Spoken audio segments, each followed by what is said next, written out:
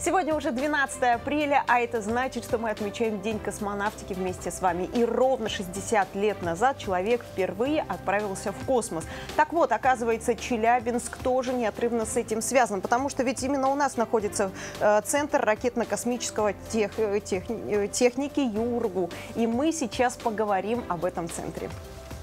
Итак, на связи с нашей студией Виктор Федоров, декан аэрокосмического факультета ЮРГУ. Доброе утро. Доброе утро. Доброе утро. Вот скажите, а, аэрокосмический факультет, вот он вообще какую а, роль сыграл в развитии вообще а, вот, э, космической отрасли здесь, в нашей стране?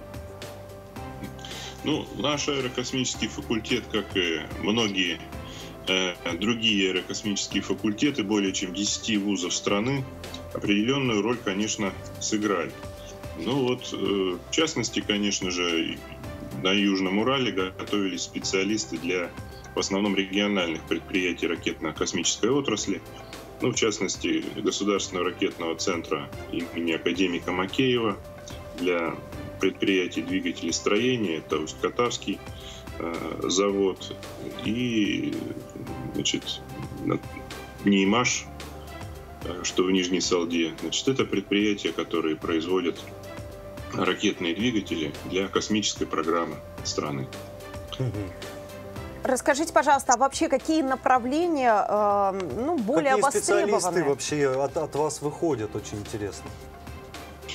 Ну вот э, еще в советские времена, когда факультет назывался ДПА, двигатели, приборы, автоматы, значит, э, наши преподаватели любили говорить, что тот, кто закончил ДПА, Э, сможет работать ну, практически э, в любой отрасли промышленности. Ну и с этим на самом деле тяжело не согласиться. Наши выпускники э, очень хорошо адаптируются по разным, в разных направлениях и науки, и производства.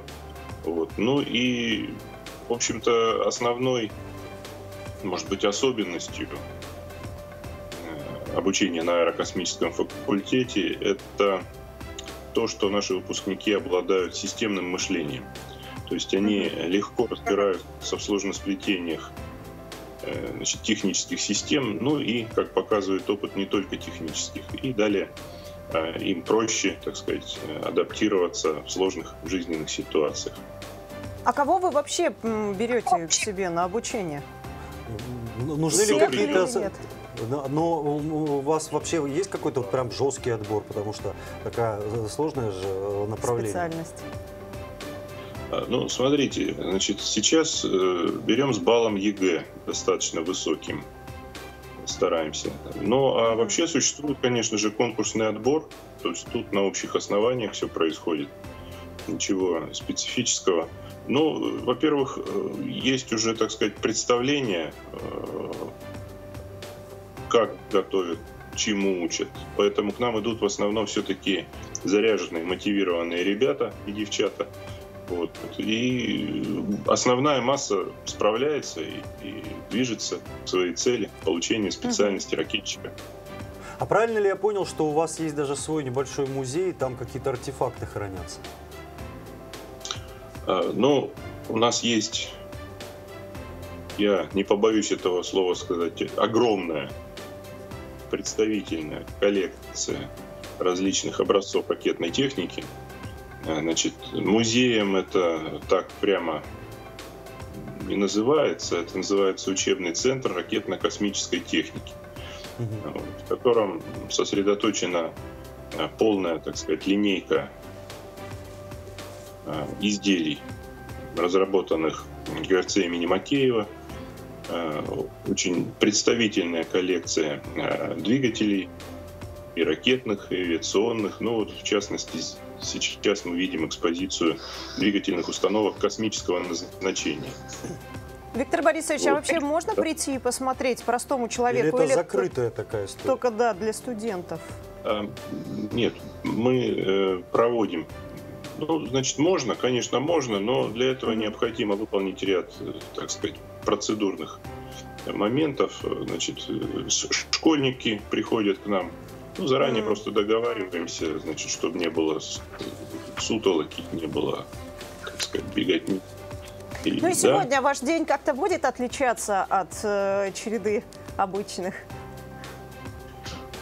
Ну, сегодня у нас повышенная нагрузка, кроме обы- обычных регулярных занятий. У нас сегодня торжественное собрание для так сказать, сотрудников факультета. Вот. Но а вообще вот последний год отмечен у нас напряженным трудом как раз вот в части создания предпосылок для появления новой системы ракетно-космической. То есть мы сейчас упорно трудимся над созданием демонстраторов, технологий создания одноступенчатой, полностью многоразовой ракеты-носители. Значит, это идея государственного ракетного центра. Они с проектом «Корона» уже не одно десятилетие э, работают. Ну и вот э, у нас получилось организовать, так скажем, сотрудничество в этом направлении. И губернатор поддерживает грантом нас, нашу, так скажем, кооперацию. То есть это очень значимое событие последнего года. Вот, вот оказывается, э, что происходит сейчас э, в стенах этого э, знаменитого центра. Да. Спасибо вам большое, мы поздравляем вас. Я думаю, что это профессиональный праздник ваш. И я напомню, с нами на связи был Виктор Федоров, декан аэрокосмического факультета ЮРГУ.